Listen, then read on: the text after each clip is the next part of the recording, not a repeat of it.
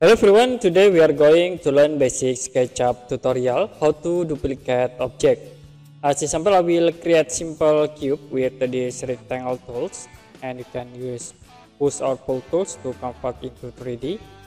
Next, you can triple click add into group. So if you want to duplicate this object, you can use a control buttons like I will use this move tools and click from this point. Press control button and to be automatically duplicate.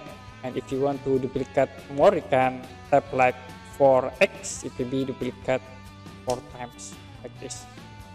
The other option I will move again this object into here. And then you can press control button to duplicate.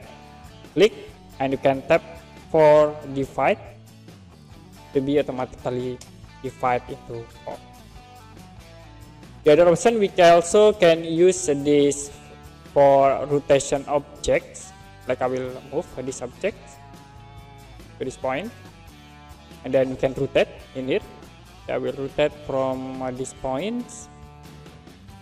Now you can click from here press control buttons to copy click and then I will create for 2x to duplicate two times press enter Okay, that's it for basic SketchUp tutorials, how to duplicate object. And if you have any question about this tutorial, you can comment below this video.